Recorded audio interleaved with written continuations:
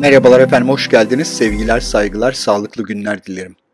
Lahana deyince tabii ki bu Kahramanmaraş'ta rekor kıran 40 kiloluk lahanayı hatırlamayacağız. Hep derler ki böyle büyük yeşil yapraklı lahanaları alın, yeşil yapraklarını kullanın ama onları ancak tarlada bulabiliriz.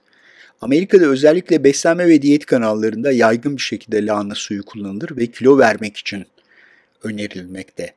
Bizde ise lahana sarması tabii ki ilk akla gelen yemek oluyor. Ama güzel bir kapuskada herkesin uzak durduğu, beğenmediği, sevmediği bir yemek. Ama açıkçası ben iyi bir yapılmış kapuskayı her şeyi tercih ederim.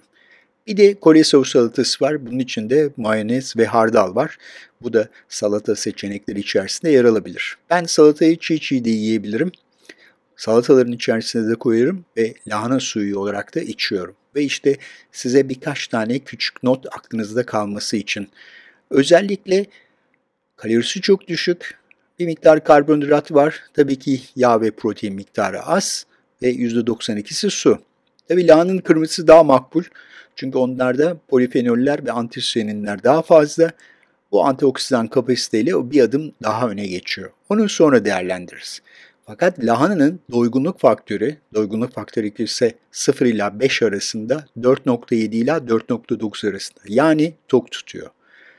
Bir de 100 gram lahana tüketirseniz bakın günlük ihtiyacınızdan fazla %136 oranında C vitamini alıyorsunuz. K vitamininde ise bu oran bu kadar yüksek olmamakla beraber aşağı yukarı kabaca %62 oranında. Dolayısıyla hiç C vitamini dışarıdan tablet olarak almanıza gerek yok. 100 gram lahana yeseniz bu size yeter de artar bile. Gün aşırı yeseniz bile yeterli C vitamini alabilirsiniz. Lahanayı dediğim gibi ben salatalara yaygın bir şekilde kullanıyorum. Hatta ve hatta üzerine bir miktar tuz ekerek çiğ de yiyebilirim. Lahana suyu o yüzden doygunluk faktörü açısından kilo vermenizi sağlayacak. Doygunluğunuz sayesinde daha az yemek yiyeceğiniz bir formül.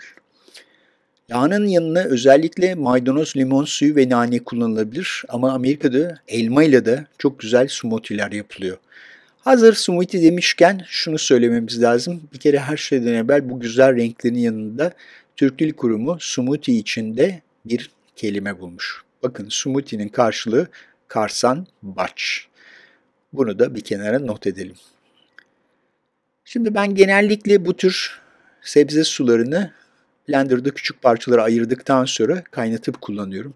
Mümkün olduğu kadar köpüğünü ayırıyorum. Köpüğü çok iyi değil.